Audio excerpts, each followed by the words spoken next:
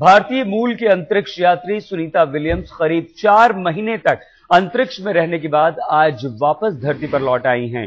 अब से थोड़ी देर पहले सुनीता को लेकर सोयूज अंतरिक्ष यान ने कजाकिस्तान में लैंड किया है। भारतीय वक्त के अनुसार सुबह के करीब चार बजे सुनीता ने अंतरिक्ष स्टेशन से धरती का सफ़र शुरू किया। सुनीता ने अंतर्राष्ट्रीय अंतरिक्ष स्टेशन यानी कि आईएसएस पर करीब चार महीने बिताए। सुनीता की ये दूसरी अंतरिक्ष यात्रा थी। इससे पहले सुनीता विलियम्स 2006 में भी अंतरिक्ष में गई थी इस दौरान। सुनीता ने अंतरिक्ष में कई सारे रिसर्च भी किए।